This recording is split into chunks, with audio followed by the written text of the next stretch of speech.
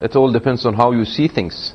I mean, no one has really proved that this videotape or what has been seen on the internet is a true uh, act of what has happened. Uh, there is no independent source confirming that. And the only person who could have confirmed it, who is uh, Muhammad Shahpoor, has not uh, confirmed the incident as it was exposed in the videotape.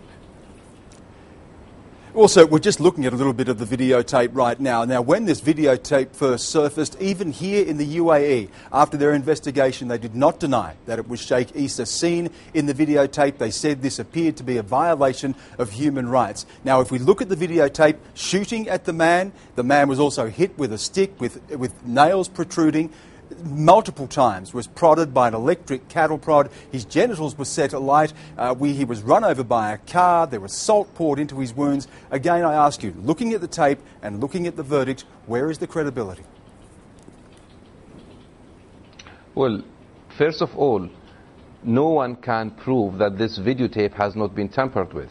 No one can confirm that things that have been shown on that videotape are a true account of what happened that night. Not even the only person who could have said so, and that is Muhammad Shahpoor himself.